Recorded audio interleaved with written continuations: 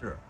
所以说就是说开心呢，就是你自己呢别有太多的想法，嗯，自己呢过好自己的日子，哎，守住一个底线。周大哥为什么要说守住底线呢？大家好，我是紫禁城下的胡同。我相信大多数人都有这种感觉，现在的日子过得很快，不知不觉中就到了十月份，马上一年就要过去了。为此，我与周大哥聊起了“过去慢，现在快”这一话题。为此，周大哥说出了自己的感受，并用事例提示老年人要守住底线。咱们看看具体是怎么说的吧。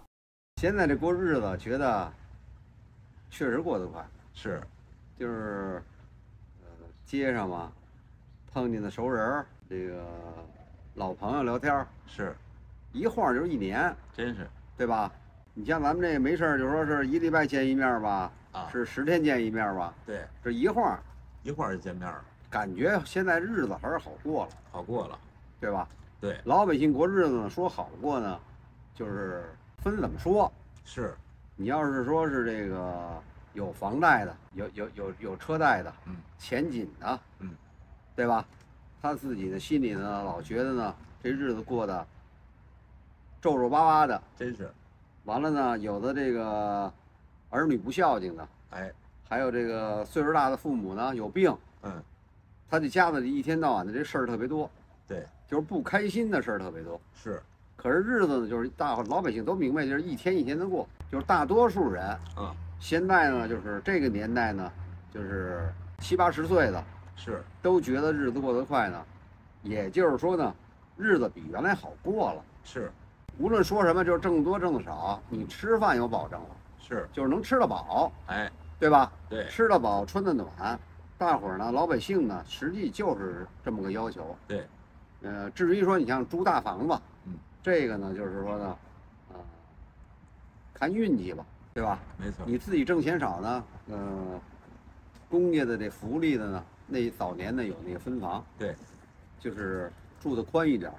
关键呢是过日子，我觉得得顺心，没错，对吧？嗯无论年轻的还是岁数大的呢，也顺心。对，你心里呢，就是说呢，呃，家庭和睦，这个呃子女孝顺，这岁数大呢，就是身体健康，没什么病，嗯，这样呢就过的日子你就觉得特别的快。是，过去慢，过去那时候就是吃不饱，这个穿不暖，就像那个五六十年代那这个嗯这过来的人，对吧？那时候就盼着过年，那时候就是，呃，小孩儿就盼盼着过年，哎，岁数大的人呢，就是为了这一家子操劳嗯，他其实也是盼着这日子好好，对，就是能够就是吃饱穿暖了。没错，那时候没有什么特别大的要求，对，现在就等于是呢，就是生活好了，这个大家的要肯定是要求越来越高嘛。嗯这样呢，就是呢，头两天在这个电视上看的这个，就是这个要说起来，在北京这儿呢也挺新鲜的。这个老太太要求呢，电视台呢帮忙呢解决这问题。嗯，她原来和老头呢有一个一百八十平米的大房子，哦，这房子按说就不小了。对，他一一个儿子，可是儿子做买卖呢，是需要钱还是这里头有什么问题？完了养活一个孙子呢，让让这老家儿看着，哦，他自己呢，呃，做买卖呢肯定挣点钱呢，说呢要孝敬孝敬老家儿，啊，他给老太老家儿呢换一个三百五十的三百五十平的别墅。哟好，能那么大，这样，当时呢，我就觉得呢，这个儿子孝顺呢，可是这里头呢，他到了电视台里解决问题呢，从始至终，我就觉得是一个，就是这里头是有一个毛病。你呢，老头老太太，你们住一个一百八十平的房子，看个孙子，对，我觉得也就是蛮不错了。啊，但是呢，他是虚荣心呢，还是这个 心里有什么想法啊？啊，儿子给他买房子呢，那肯定要添钱的。儿子把这一百八十平米呢，有老头的名字呢，拿去给卖了，哦，就是老头的这个一百八十平房子就不存在了。对，他是给老太太换了一个三百五十的平的房子，啊，但是住住了没几年呢，现在人呢有人找上门呢，让老太太交房是吗？啊，最后就说成是什么呀？这个儿子在外头做买卖呢，就是这个拉饥荒了，啊，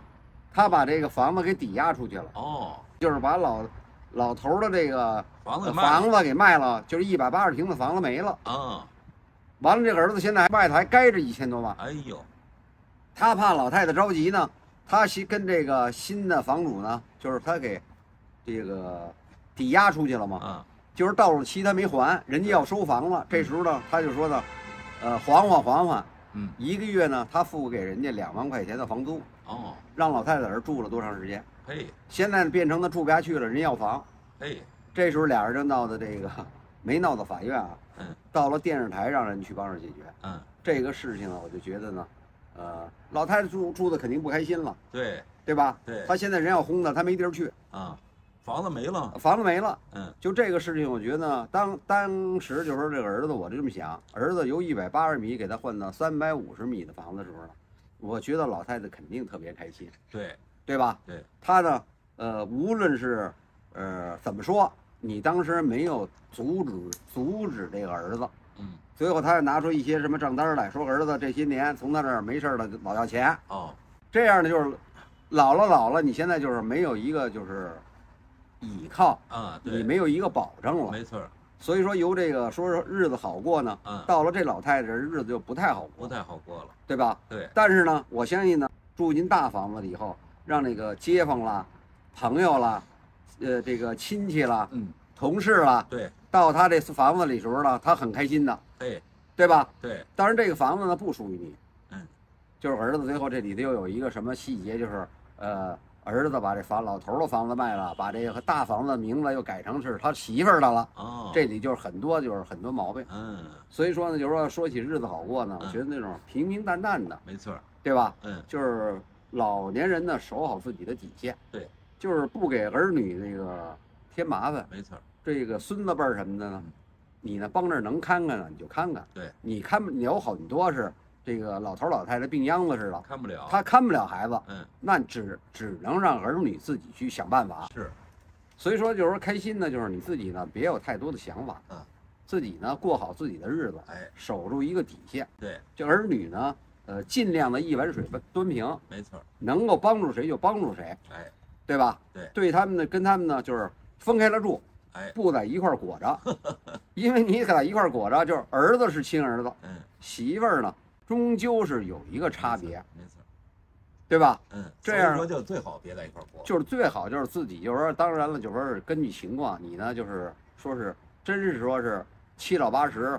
真是不行的时候，你是上养老院啊，你呢跟那儿女呢就是商量好，嗯，因为全是独生子了，对，对吧？对，他们也有一家子，也很平常也是很累的嗯。虽然咱们说这个日子过得快，对，就是各家有各家的不同。啊，呃，岁数大了呢，就是想开了，是，对吧？过好自己的日子，哎，呃，别有太多的想法，身体健康，哎，这就是最好的。没错儿，就说这么多，好，谢谢大哥，谢谢铁刚。